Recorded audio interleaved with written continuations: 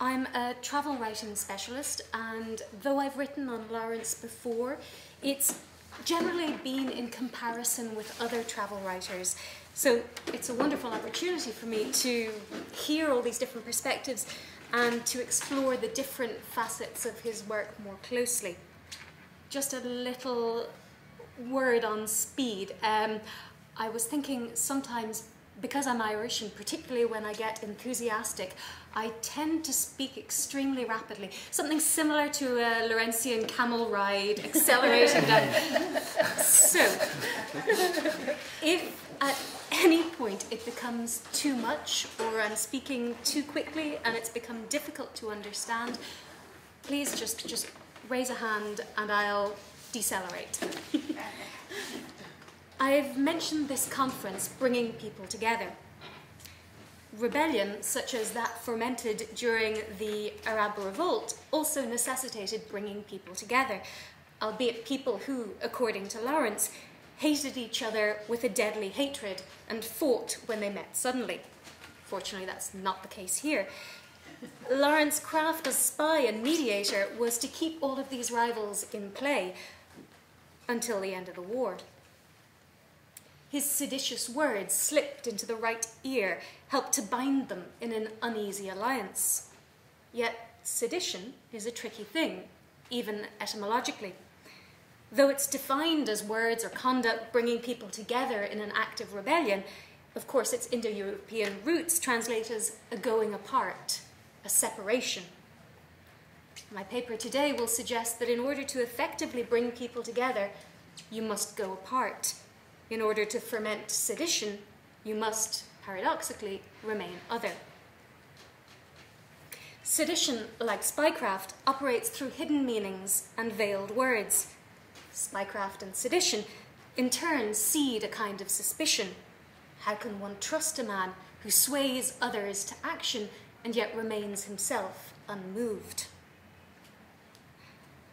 Lawrence and Bell, as this paper will argue, painstakingly seed the desert from the early years of the 20th century, creating networks of names and contacts, turning the eventual Arab War into a martial form of spycraft. As mobile merchants of words, their loyalties are often questioned. And as we know, Lawrence continuously views his own motives and actions with an angry and suspicious eye. So I'll first examine the figure of the spy and the representation of spycraft in the writing of these two authors, then the rendition of sedition as a necessary trauma, a self-distancing for greater ends, before finally looking at the sense of suspicion that almost tears these writers and their works apart. Seeding suggests the idea of fruition, of success, of an anticipated time of plenty. Yet, as this paper will show, even as they painstakingly seed the desert, Bell and Lawrence both suspect that it will bear bitter fruit. A biography of Lawrence seems somewhat redundant in the present company. Um, however, I wanted to briefly introduce Gertrude Bell just for those who might not be as familiar with her. Um, born in 1868 to a wealthy Northumbrian family, Bell's family and friends were staunch imperialists. Uh, they believed that Britain's presence in the Orient was a noble necessity. Having achieved a first in history at Oxford University, Bell began travelling in 1888, partly perhaps as an escape from social obligations in Britain. Over the next 20 years, she crisscrossed the Middle East from Syria to Persia, uh, creating that web of influence that was used after the First World War to support Faisal, the newly established king of Iraq. In 1916, she became the first female political officer in the Military Intelligence Bureau in Cairo. Yet, Bell, of course, remains on the outskirts of the intelligence community she was refused permission to work for the military intelligence in Cairo in 1914 on the grounds that the area was too dangerous for a female. And she was later ostracized by her fellow political officers in the Arab Bureau who resented her unorthodox methods. Bell and Lawrence, as we've seen today, were towering figures of their age, with public images that they had arguably little control over. Queen of the Desert and Lawrence of Arabia. No, the monikers locate them elsewhere, out there foreign. Their craft is to pass everywhere and be at home nowhere. And so the spy, as we know, is a lonely figure. And yet Lawrence seems to take pleasure in that invisibility. In the night, my colour was unseen. I could walk as I pleased, an unconsidered Arab. This sense of, being, of observing without being observed, of being unconsidered, is echoed in the travel writing of the Swiss travel, traveller Isabelle Eberhardt. Um, and she too, travelling at the turn of the century, elected to put on Arab robes. She says, Ils m'ont même pas remarqué. Il n'y a rien de remarquable en moi. Je puis passer partout, inaperçu. Excellente position bien voir. As Monsieur Leclerc showed us, clothing is a strategic choice and it reinforces by turns uh, Lawrence's anonymity.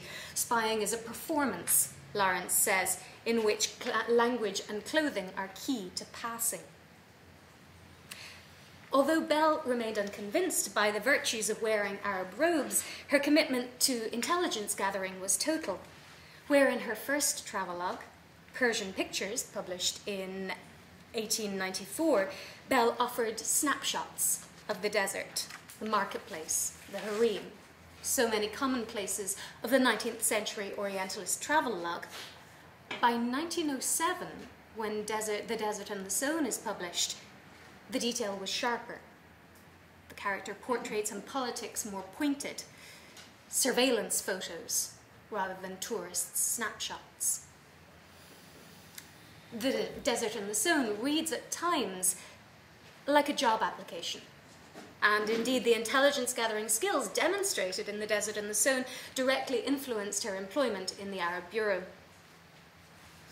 In the desert and the sown, Bell is forced to prove the legitimacy of her position and her loyalty to the British government by a skillful marketing of her unique perspective on the Middle East.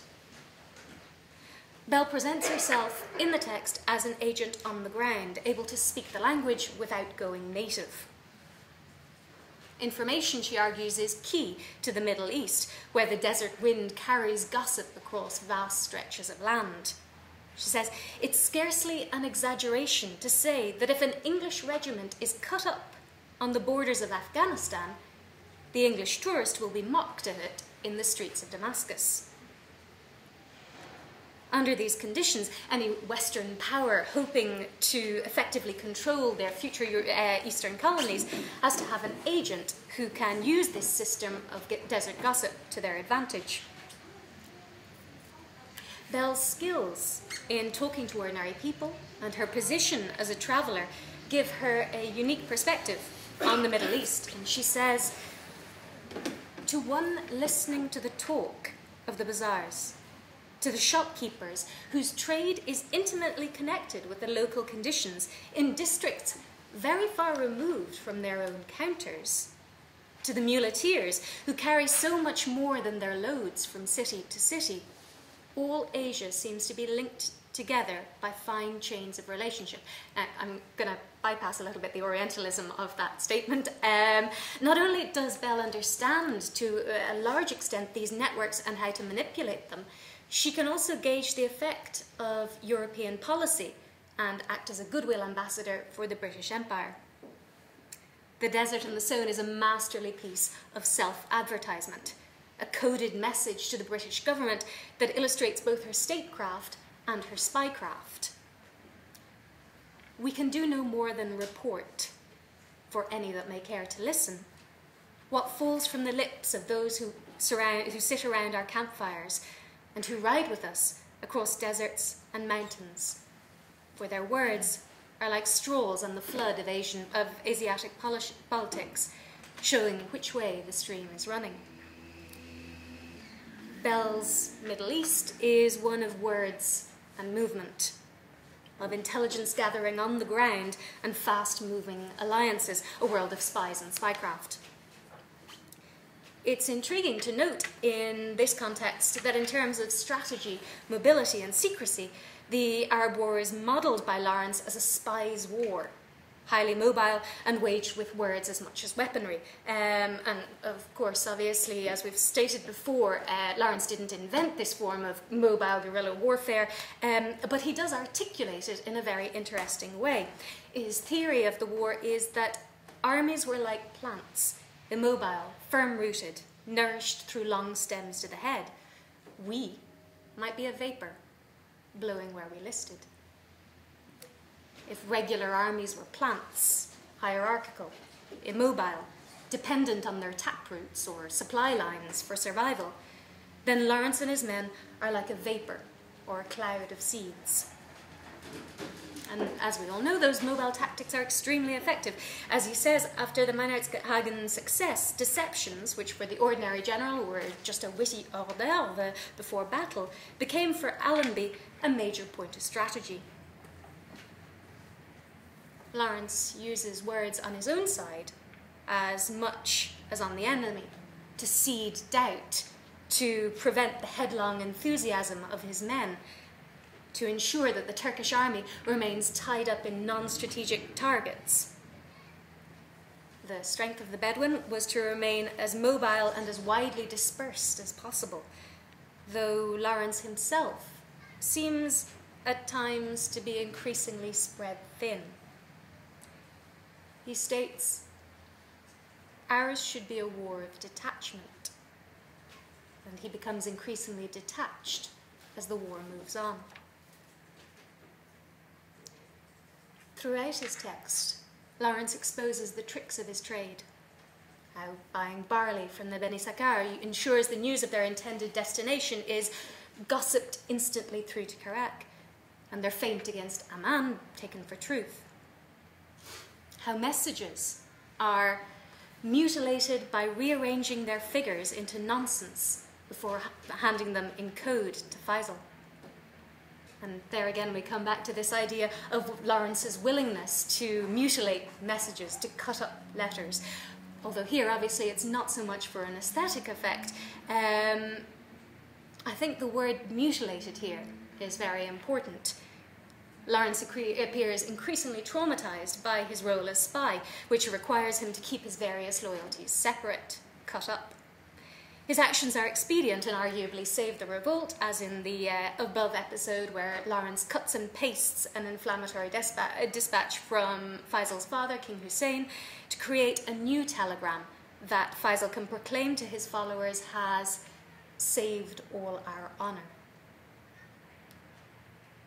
Lawrence goes on to recount how Faisal then bent aside to whisper in my ear I'm in the honour of nearly all of us. It's understood between the two men that Lawrence's honour, like his sense of self, has become a tattered thing in the service of sedition. Sedition, as I've said, is a slippery thing.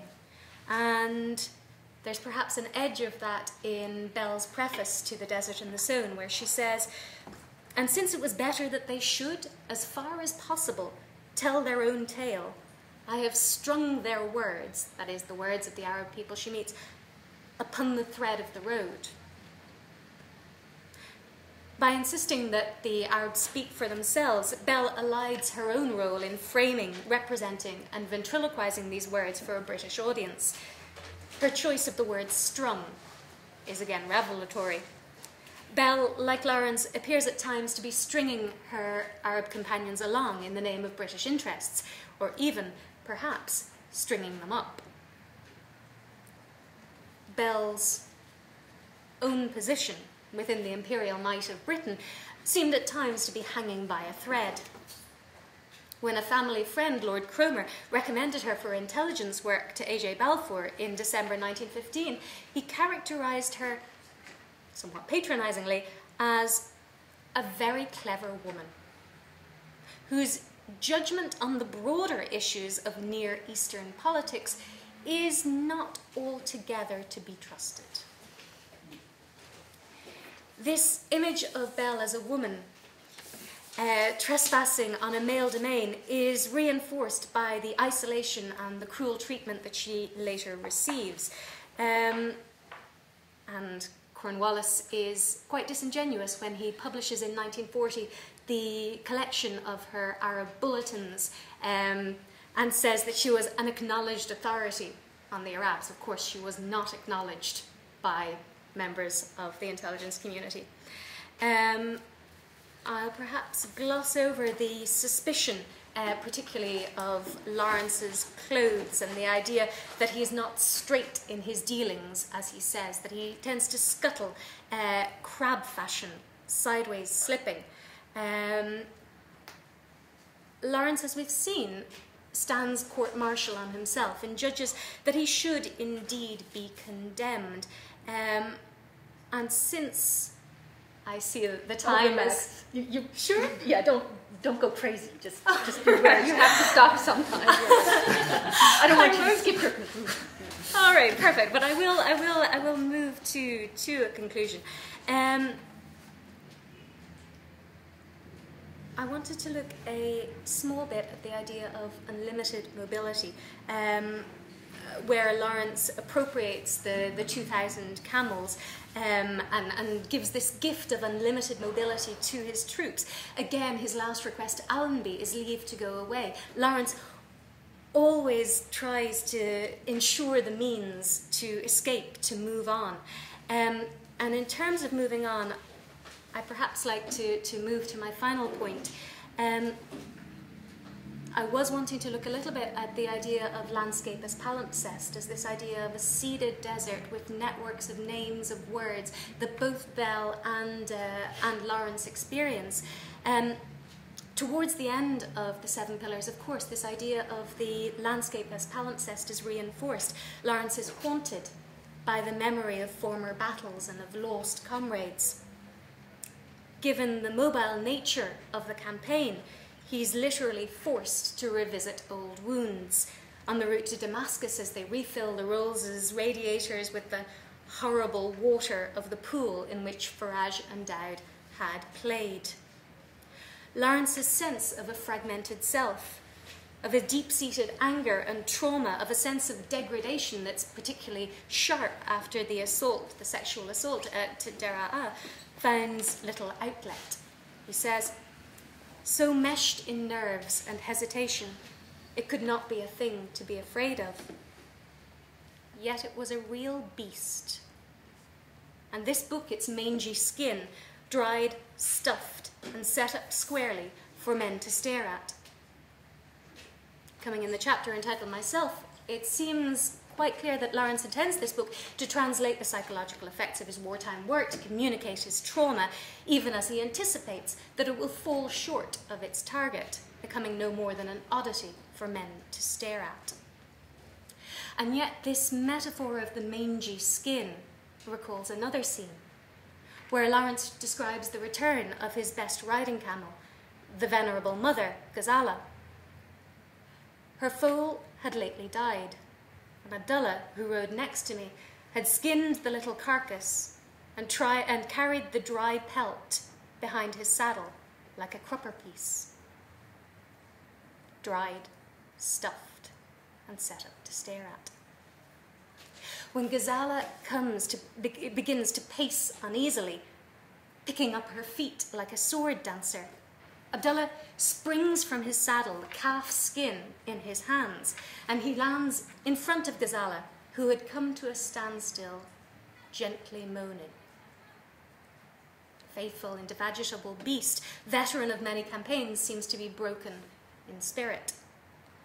Of course, there seems to be quite a strong identification here between Lawrence and the beast of the camel, his own broken beast of self. And that very human moaning of the camel again reinforces that uh, anthropomorphization. Unwilling to let the campaign and Lawrence grind to a halt, Abdullah spreads the little hide before the camel and brings down her head to it. She stopped crying, shuffled its dryness thrice with her lips, then lifted her head and with a whimper strode forward. There's an almost mystical quality to this scene, and that's reinforced by the archaic thrice. The reader is struck by something at once sacred and debased. Ghazala is forced into further motion by this flat hide, this mangy skin, a poor copy of her child. And that flat, dried skin on the ground, perhaps it's just me, but it inevitably reminds me of a book spread open on the desert sand. This mangy skin, as Lawrence refers later to the text of the Seven Pillars, is enough of an impetus to keep the author going to the end as though the thought of leaving something for posterity, something that would explain his actions and carry on his legacy, could keep Lawrence moving forward, keep him writing and rewriting the seven pillars, despite his intuition that his hope of leaving a, an apt legacy is illusory. Hope springs eternal from the scattered seeds of war. Thank you.